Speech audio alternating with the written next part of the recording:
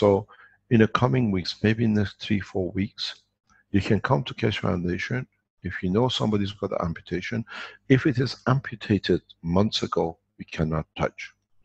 Doctors have to be able to put the system in operation at the point of amputation. Then we have to wait for a process of regeneration over months, the system as it works.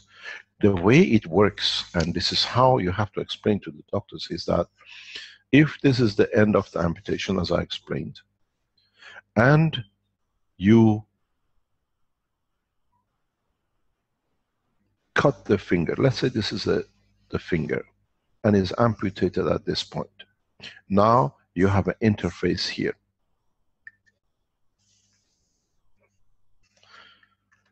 What you do, you place the system facing the cut. That's all you need to do. And you mount it on the perfect side of the finger. Your body continuously, all the time, 24 hours a day, every second, sends information to replace different parts of this part of this toe, this finger. So what happened, without you knowing, you're replacing parts. It's like you're redecorating the house. But a lot of doctors who don't understand, they say we use only 5% or 15% of our brain. The other 85% is not used. This is the doctors who don't understand nothing about the work of the brain. The 85% is continuously monitoring every single cell in your body when is a due date to replace, to have the material ready forward for it, everything pre-planned two, three months, year before that this cell needs to be changing in the 12 months time. It's a service industry. So the information sits there. When you amputate, the information comes here, but as we said, it takes the lymph, it takes the blood, and then it takes the information from neurosystem to gel these together as one cell. So when the information comes, the lymph and blood are always there. The electric current, which is specific for this cell, comes and because it's not delivered, it creates, it releases its energy at this point. This energy builds up and has to go somewhere. So you call it a phantom pain. With putting this system in front of it, what happens? Because this system is gravitational magnetical, the flow carries on. As, as long as the brain is considered, this is replaced, but it's not there. So what happens in this process? Your body carries on building step by step, step by step. So the after months, the finger is built and you move the system further back out as it's built. We think the best perfect gap between the two is about three to five millimeter. In our test, we've seen this. So in fact, when you create 3 to 5 millimeter gap, you create the condition of the flow in a nano electrons. Be very aware of the science. every cell eh, and every part of the body of a man has a, a specific voltage and the bank of the brain keeps these specific voltages. So this cell here uses different voltage than this cell next to it. That's how it knows where to be. So your brain has a bank of voltage, current, gravitational, magnetical field for every cell in your body. And this is how it reproduces. So when you put a unit in front, you allow the formation to come in. If you get, if you change this finger to a knee, when you get a blown up amputation, uh, you walk over a mine, people walk with the sticks for the rest of life. We are thinking and we bring into operation to do this with the new amputations. This technology will be sent as a gift to the Iranian nation in the coming weeks for the mines which were set in south of Iran by Iraqis during the Iran war will be sent to the Iraqi government for their people who go through the same. We are all one race. And we let them at a point of operation, young child losing um, limb, walking over a landmine which was planted 30 years ago, in Africa, in Mozambique and the rest, we are infiltrating into Africa very heavily from now on. Infiltrating to teach the technology. We would like to see how many governments refuse this. Total cost, less than one cent to produce this material. We are not talking about millions. This place, to save a man, a child, from limping, from disability of lifetime, is one cent. Now, thank you. Thank you. Um, okay, anything else? We've been going on for nearly three and a half hours. Mr. Kesh, this is Vivek again. Yes. Mr. Kesh, this is Vivek again. Sorry, uh, very quick question regarding the four mini coils that you taught us uh, on Tuesday to regrow the amputated limb. Uh, Yeah. Two questions. Uh, are, do Have you the coils? with the guy yet or not? Yes, I, I've. Uh, he's actually built the the mini coils. Would you like to see? Yes, please. This is for the amputation. This is for the amputation. I'll just uh, Yes. open the image. He has not it nano coated it. Uh, no, he built it. Okay. Uh, he has not nano coated it yet. He, he has just sent me this Let me picture. look. It's on the screen now. It's on the screen now. You have to nano coat it with copper oxide and CO2. Okay. Uh, and you can use CH3 if you want. This is perfect. Yeah, it's very beautifully done, sir. Actually, I think with this size you can use one on its own. One on its own. Okay. Yeah. Then Yeah. with the then all the ganses will go onto that one coil. All the coils. And yeah, okay. yeah, okay. I'll tell you what. Let's take the knowledge a step further. I'm going to take over.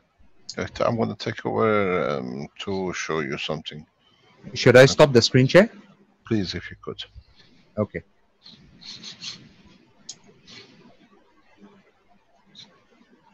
And then this will stop you.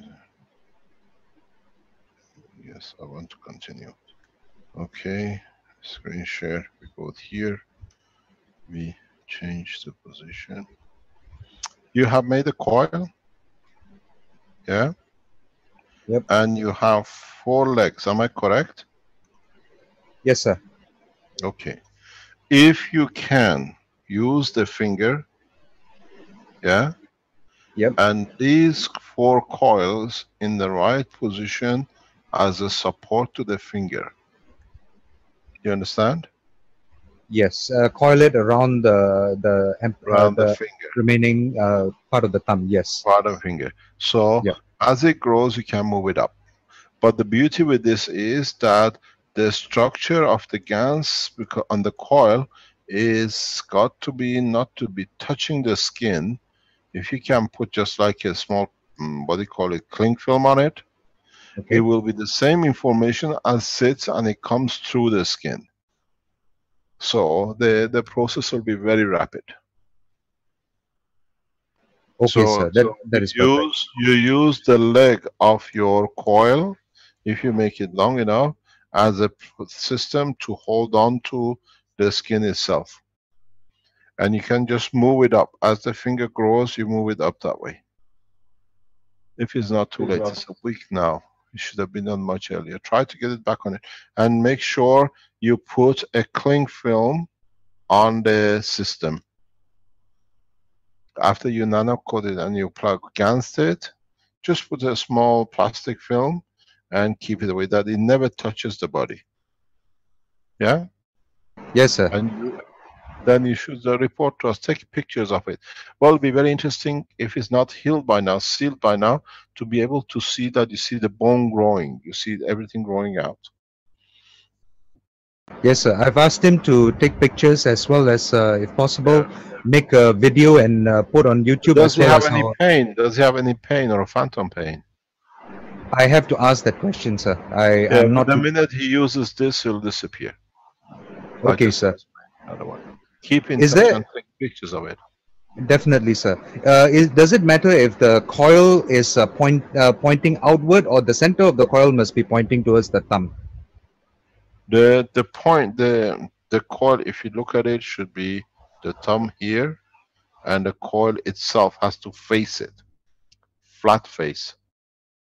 Flat facing. Okay, Yeah, no problem, yeah. sir. It should be it. It, it looks should look as you put a plate facing it. Yeah. Yeah. Yes, sir. You pull, you pull it out. This sh- I I would like to see this because I've seen it as a plate. Maybe this is much better efficient. Maybe we can bring it. in. The gap has no, cannot be more than two to three millimeters. Otherwise, the information doesn't go through. Make sure you Yes. keep a constant gap. Thank you very much. Thanks, Vivek. Thank you, sir. I'll ask him to post all the pictures on the KF community site. Thank you very much indeed. Let's see if we Thank you. I think uh, it's a week now. It's a bit too late, but let's see what we can do.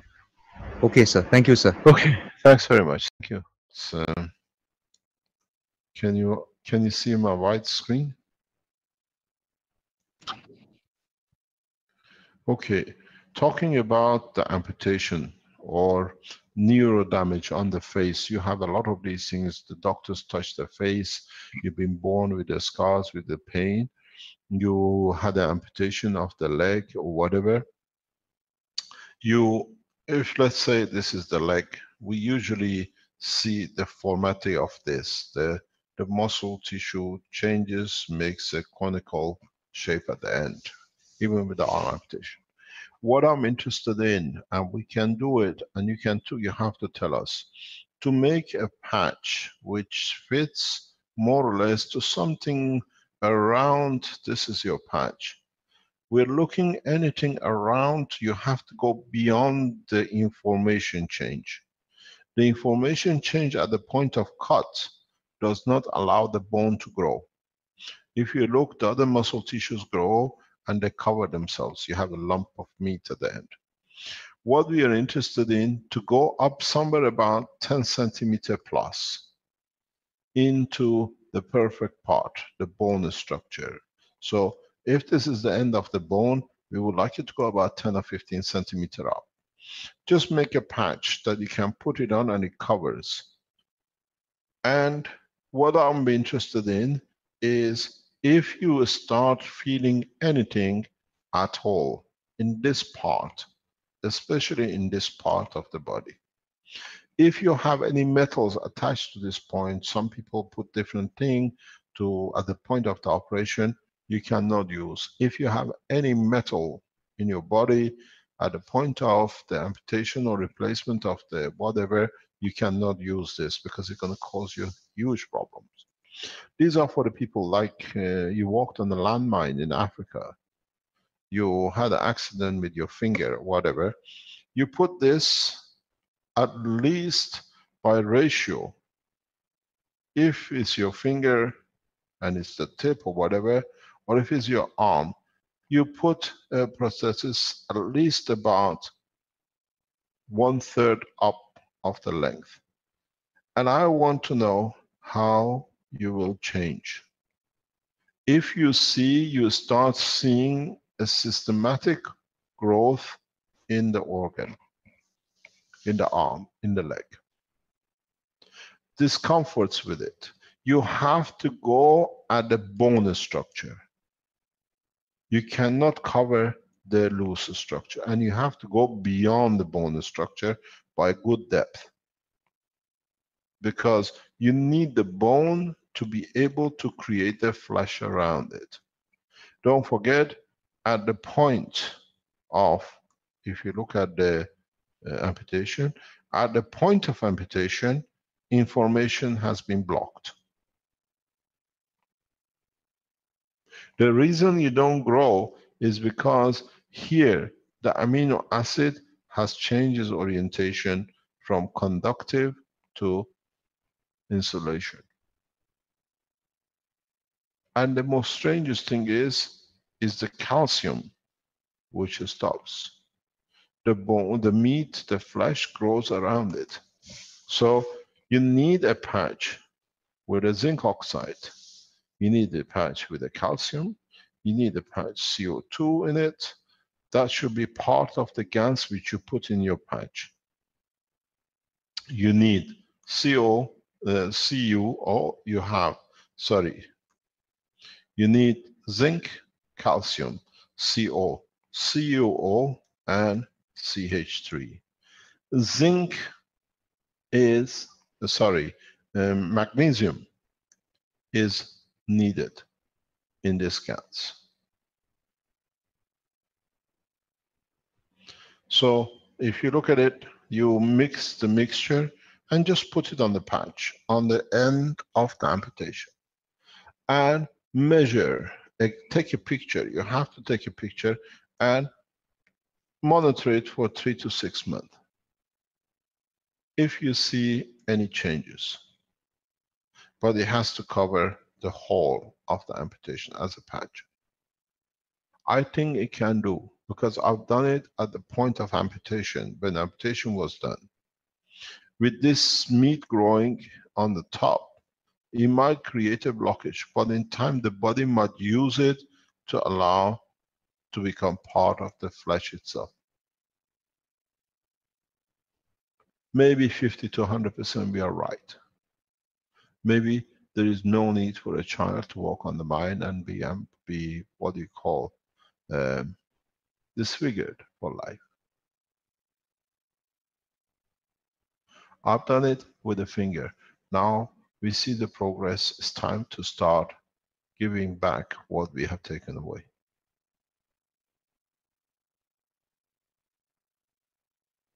If you have phantom pain, use this patch and see if the phantom pain goes away. And then see if there is changes. I've tried this and it works.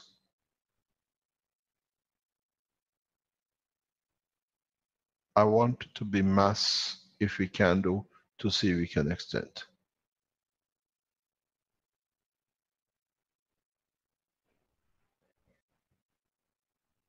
But the main component has to be the zinc, the copper, and the calcium.